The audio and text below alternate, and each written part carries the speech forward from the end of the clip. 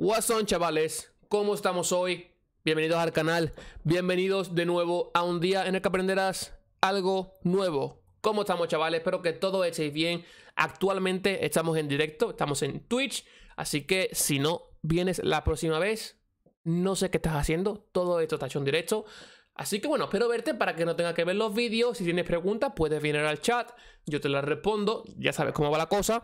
El eh, vídeo de hoy va a ser un poco diferente a los análisis de mercado. Eh, quiero hacer vídeo explicando más que nada qué métodos hacer si tienes 50k, eh, qué métodos hacer si tienes 200k, qué métodos hacer si tienes 500k, qué métodos hacer si tienes un millón, ¿no? Hay mucha gente que tiene monedas pero no sabe qué hacer con ellas, no sabe cómo tradear, así que voy a intentar básicamente deciros qué hacer en cada momento eh, con vuestras monedas. Así ya cuando eh, vengáis a mi, derecho, posiblemente, mira, posiblemente este vídeo lo estás viendo también después de venir a mi directo y, decirme, Senpai, tengo 100k, ¿qué hago? Y yo te he dicho, hey, ve a mi canal de YouTube, mira este vídeo, ahí tienes la respuesta.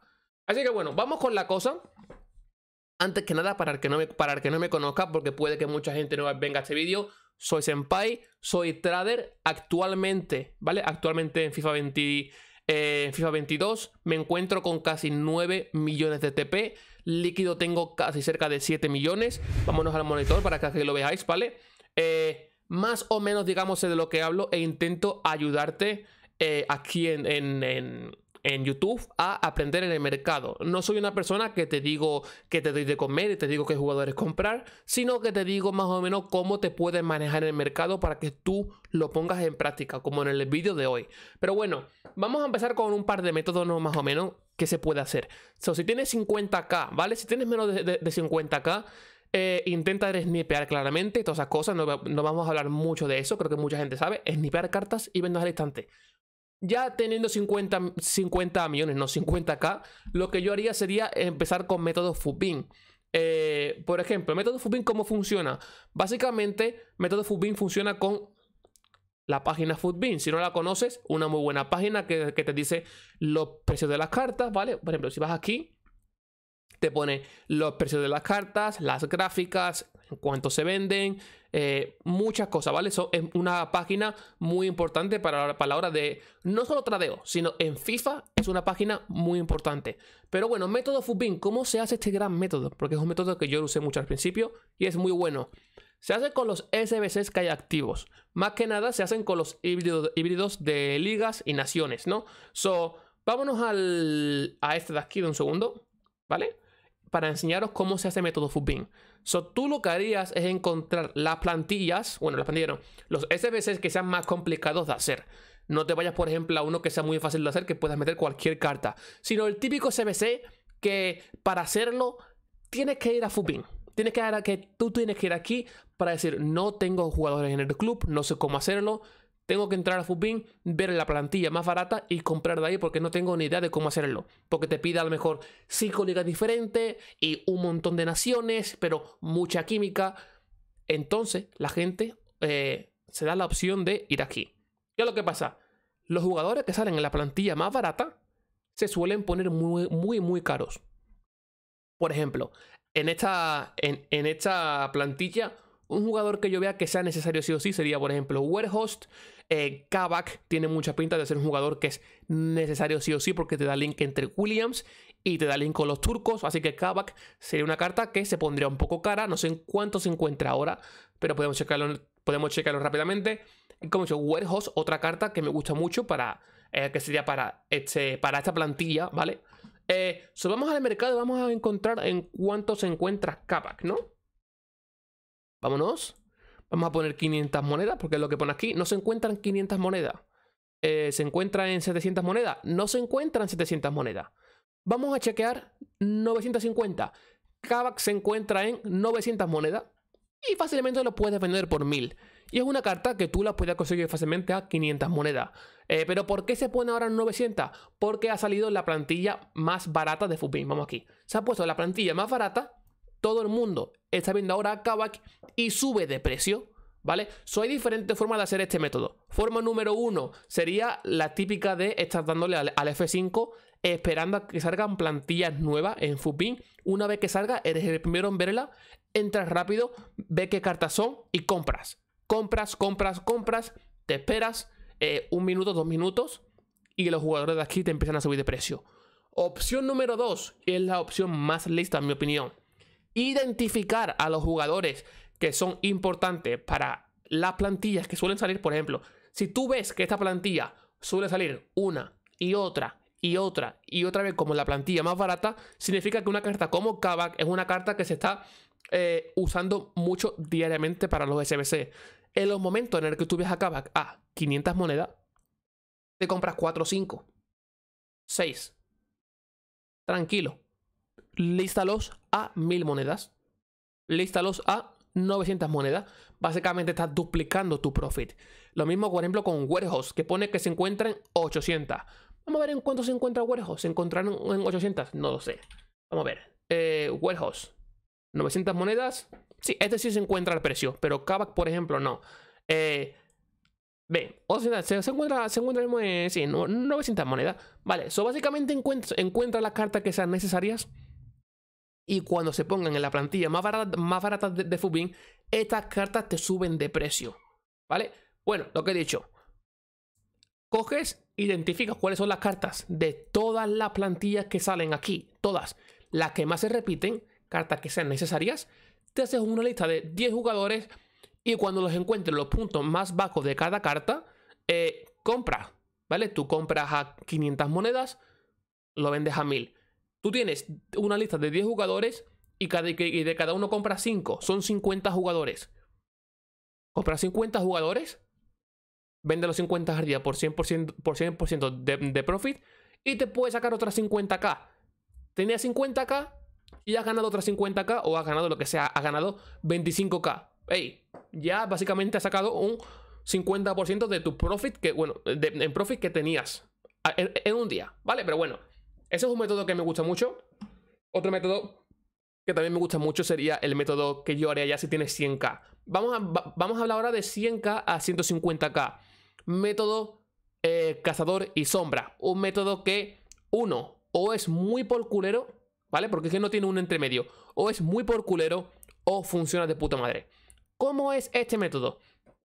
Básicamente lo que tienes que hacer sería, tú entras a Fubin, ves cómo Fubin es muy importante. Fubin es una página muy importante para los traders y para todo el mundo. ¿Qué es lo que yo haría? Baja cartas de oros, ¿vale? Vamos aquí, pon precio máximo, por ejemplo, 7K. Precio mínimo, 1K y media, ¿vale? Vas aquí, filtra esto de aquí y pon del más caro al más barato ya tienes todas las cartas que están entre ese rango de precio. Busca las que sean usadas en partidos, ¿vale? No cartas de SBC. Por ejemplo, una carta que es muy de SBC es esta carta de aquí. Es un portero. Te pongo otro ejemplo. Eh, Busquets, una carta que nadie usa. Eso no quieres. Las cartas que se usen in-game.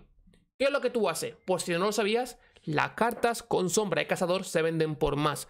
Pero la gente no se da cuenta de eso. Por ejemplo, ya que está aquí Di María. Di María se encuentra en 7K. ¿Cuánto se, ¿Cuánto se encuentra Di María con Cazador? Vamos a buscarlo.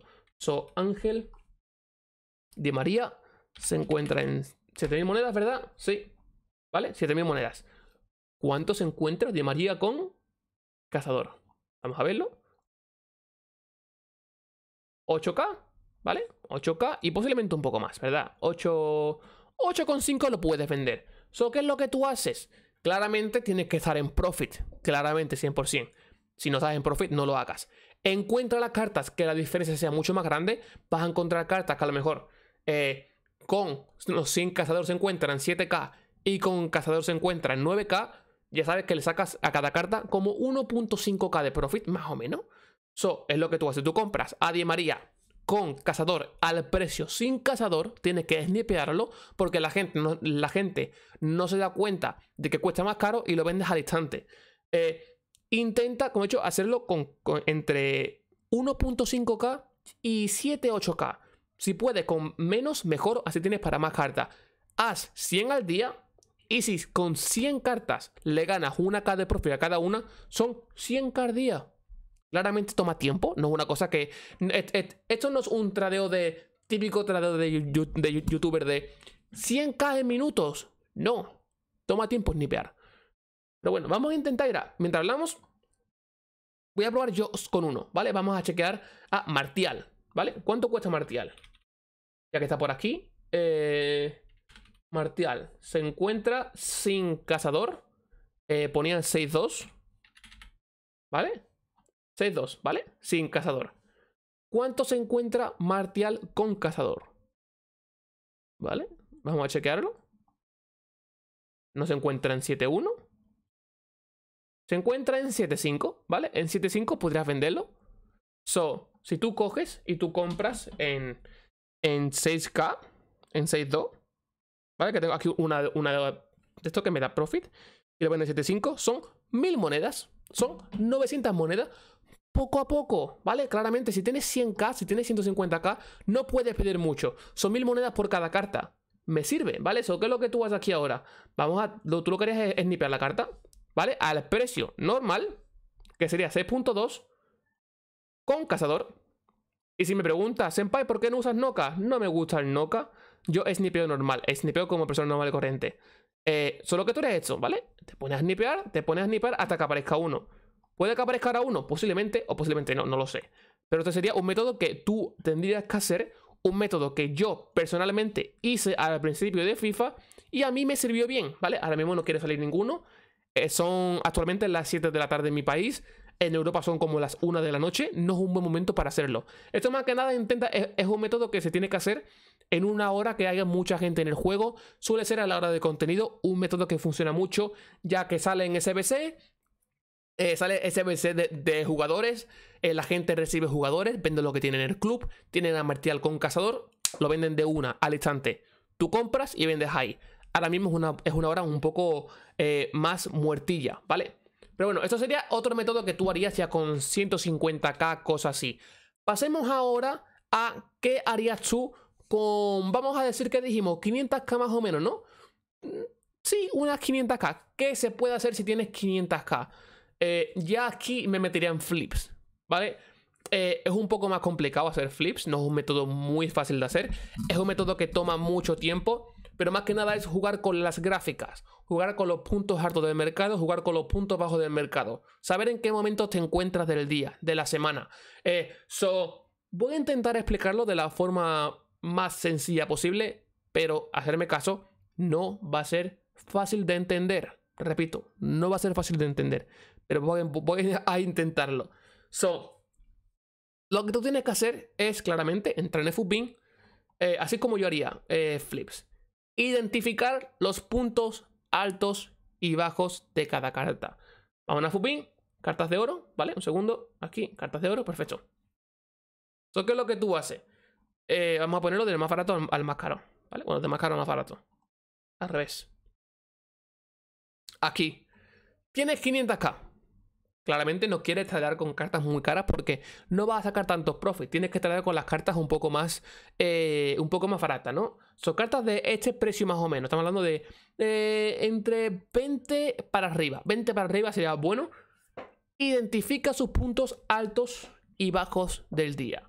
Te pongo, vamos a poner el ejemplo de, yo qué sé, eh, vamos a poner el ejemplo de mm, Kimpembe, ¿vale? Kimpembe sería una carta interesante para hacer esto, que son flips.